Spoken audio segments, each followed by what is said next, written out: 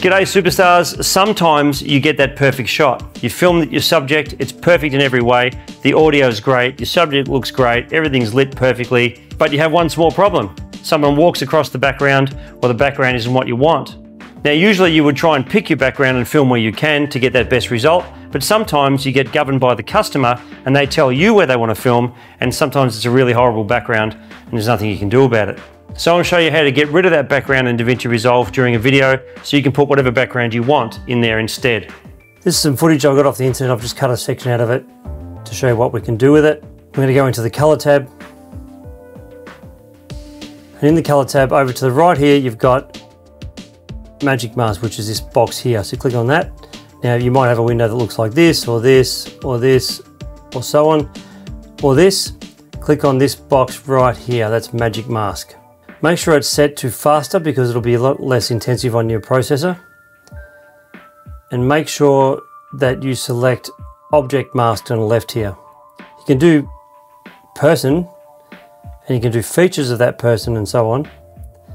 But I suggest you just do object first. If it doesn't work as good as you'd like, then maybe get into the person side after that. But click on there first, go right to the start. So what we're going to do over here next above faster is a eyedropper with, with a plus on it. So we're going to click on that and we're going to just draw an outline where we want this mask to be. So we want to go down there.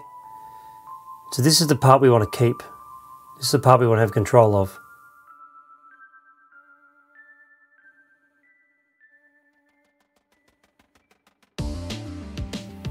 You don't have to be precise at all, we just want to give the rough shape where we're going to be.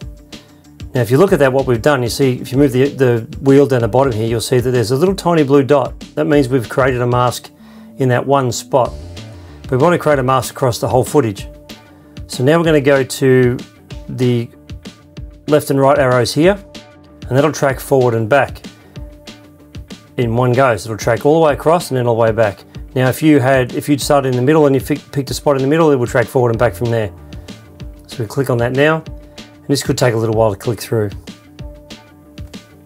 Now, after it's done that, you click over here to the right and you click on these two shadow boxes here. And as you can see, it'll show up her as red and that shows you what you've tracked. And if we scroll through, if we press play again, it's done a really, really good job. In fact, it's done a very good job. Usually I have to correct it a little bit. If you get shading in here that's red during your clip, you can then go to the minus button over here and you can click on that and then track it forward and back and get rid of just that area. So you actually can remove areas that you don't want tracked. Now we've done that, we now have control over just her. So we turn that mask off, you literally can go over here and you can adjust the brightness and so on of her. You can change how she looks, change the color like you normally do. You can change for instance, let's go over here to the contrast wheel and we'll bring the contrast down. We'll put the contrast up and so on. You can boost saturation,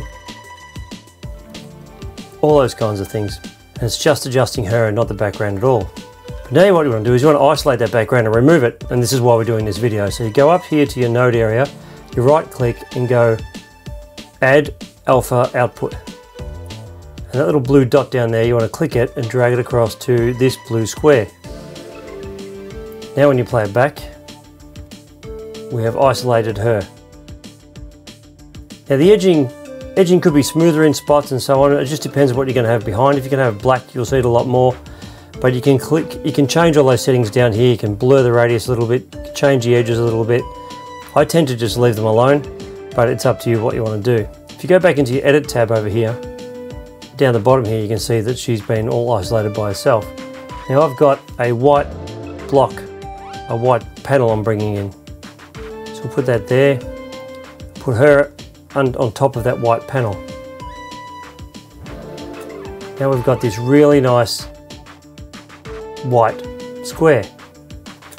And you think, well, big deal. But then we see now we can add text. So if you go to effects up here, and click on, scroll down to titles and do text. We'll bring that down over here for instance. we're just going to play with that text a little bit. So let's go over to inspector and we'll just have nice hat, we're going to call it.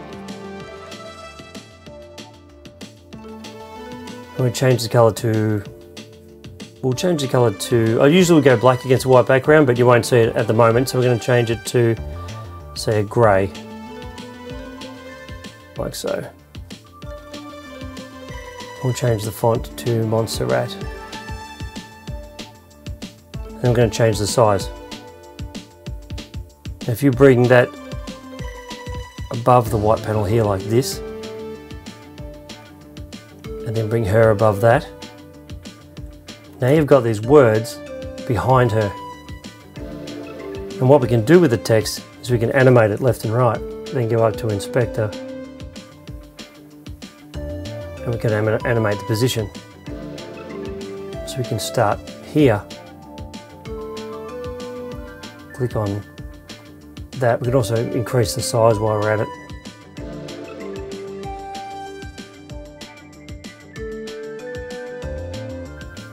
And then when we get to here, we can animate it the other way.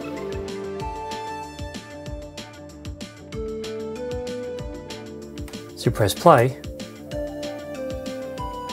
these are the things you can do if you isolate the background. But you don't have to use that, you can use you can do something else. We go back up to our media pool, we can bring in a sunset for instance. We get rid of the text. We can leave the text there actually. We'll bring the sunset down here the timeline. We'll move her out of the way and we'll go above. So we'll go below text. Move that move the white panel out of the way. So it still says what it says. We can put her back where she was. And as you can see, she's not bright enough. The sky's wrong, but we go into color again. Select the sky. We can bring that, bring the lift right up, like so. The contrast can come in a bit.